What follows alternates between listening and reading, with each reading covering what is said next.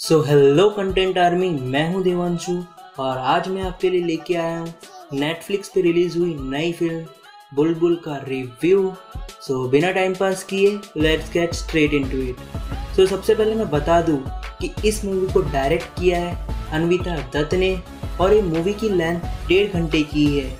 और मैं पहले ही बोल दूँ अगर आप इसे हॉरर मूवी समझने की कोशिश कर रहे हैं तो आपको इसमें कोई हॉरर मोमेंट्स नहीं मिलेगा।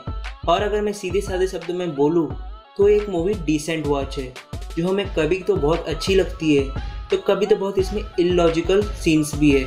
सो अब बात करें मूवी के प्लॉट के बारे में तो मैं कुछ ज़्यादा तो नहीं बताना चाहता, नहीं तो आपको स्पॉइल हो जाएगी मूवी फिर भी अगर मैं थोड़ा आइडिया देना चाहूँ स्टोरी के बारे में तो हमें दिखाया जाता है 1881 का बंगाल और बुलबुल, जो अभी एक बच्ची है और उसकी शादी होती है इंदिरा नील से।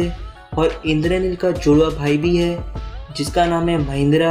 लेकिन हमें फिर पता चलता है कि बुलबुल इंद्रानील के छोटे भाई सत्या को पसंद करती है और उसकी एज भी उसी के आसपास की है और फिर उसे इसी वजह से लंदन भेज दिया जाता है और जब वो पाँच साल बाद वापस आता है तो देखता है कि सब कुछ बदल गया वो गाँव में। जैसे कि उसके भाई महेंद्र की डेथ हो गई है और पूरे गाँव में डेथ हो रही है गाँव के आदमी लोगों की। और सबका मानना है कि कोई चुड़ैल ने मारा है सबको, और वो देखता है कि बुलबुल उसकी भाभी पहले से काफ़ी बदल गई है, और फिर आके क्या होगा फ़िल्म में, ये जानने के लिए तो आपको फ़िल्म ही देखनी पड़ेगी।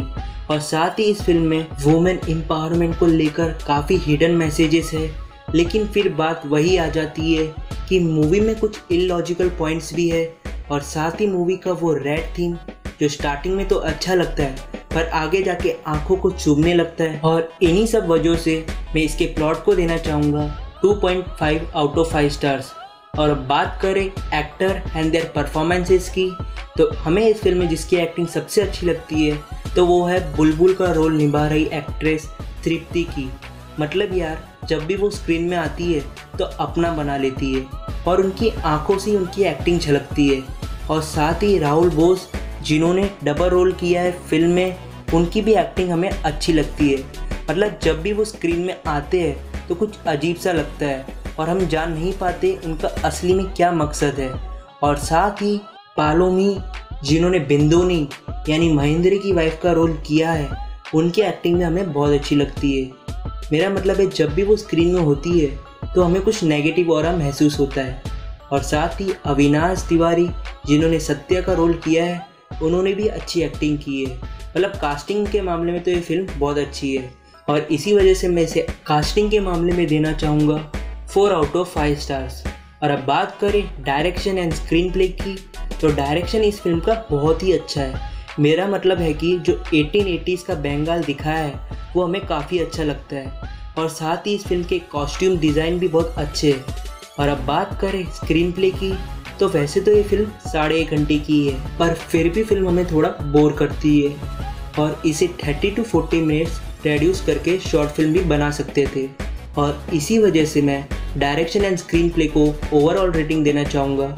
2.5 आउट ऑफ़ 5 स्टार्स और अब मैं बात करूँ फ़िल्म के बी की तो काफ़ी जगह पे हमें फ़िल्म का बी अच्छा लगता है। और काफ़ी जगह पे वही पुराने बॉलीवुड फ़िल्म का बैकग्राउंड म्यूज़िक की याद दिलाता है।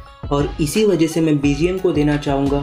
2.5 आउट ऑफ़ 5 स्टार्स और अब बात करें मेरी फाइनल रेटिंग की तो मैं इस फ़िल्म को देना चाहूँगा। 2.5 आउट ऑफ़ 5 स्टार्स क्योंकि इसकी अच्छी कास्ट और थोड़ी सी यूनिक स्टोरी के लिए। और अगर इसका एग्जीक्यूशन थोड़ा और अच्छा होता और इलॉजिकल सीन्स पे ध्यान दिया जाता तो ये फ़िल्म मस्ट वॉच बन सकती थी। सो so, बस यार आज की वीडियो में इतना ही। अगर आपको वीडियो पसंद आया तो इस वीडियो को लाइक कीजिए। और इस चैनल को सब्सक्राइब कीजिए और साथ ही बाजू में नोटिफिकेशन बेल को भी ऑन कर देना ताकि जब भी मैं कोई नई वीडियो लेकर आऊँ तो सबसे पहले आप देख सके। और अगर आपके मूवी देख ली तो आप क्या सोचते हैं वो कमेंट सेक्शन में बता सकते हैं। और साथ ही आप चाहते हो मैं कौन सी मूवी या वेब सीरीज़ का रिव्यू करूँ तो वो भी कमेंट सेक्शन में बता देना। सो अब मैं मिलूँगा आपको कोई नई वीडियो में, कोई नई मूवी या वेब सीरीज़ के रिव्यू के साथ। तब तक के लिए मैं मूवी सहरा साइनिंग ऑफ़